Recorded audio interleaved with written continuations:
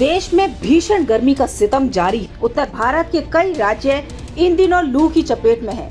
मौसम विभाग की माने तो 21 मई को दिल्ली, उत्तर प्रदेश, हरियाणा, पंजाब, राजस्थान और मध्य प्रदेश में हीट वेव का दौर जारी रहेगा। वहीं केरल, तेलंगाना, कर्नाटक और तमिलनाडु में भारी से मध्यम बारिश की संभावना है।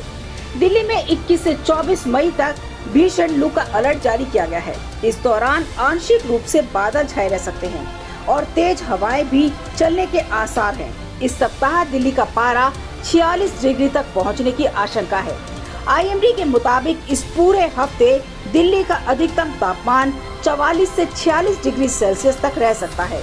वहीं न्यूनतम तापमान उनतीस से 32 डिग्री सेल्सियस के बीच रहने की संभावना है। मौसम पूर्वानुमान एजेंसी स्काईमेट के अनुसार दिल्ली में भीषण गर्मी से राहत दिलाने वाली कोई बड़ी मौसम प्रणाली आने की संभावना नहीं है। दरअसल साफ़ आसमान और तेज धूप गर्मी को बढ़ा रही है, जिससे भीषण गर्मी की स्थिति बनी हुई है।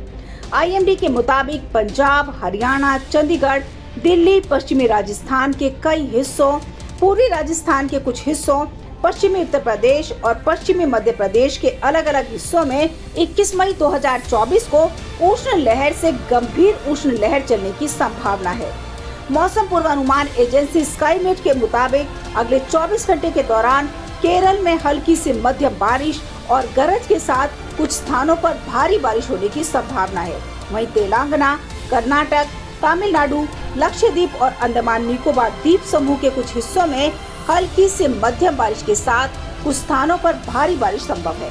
इसके अलावा सिक्किम, लक्षद्वीप, उत्तराखंड और पूर्वोत्तर भारत में हल्की से मध्यम बारिश हो सकती है।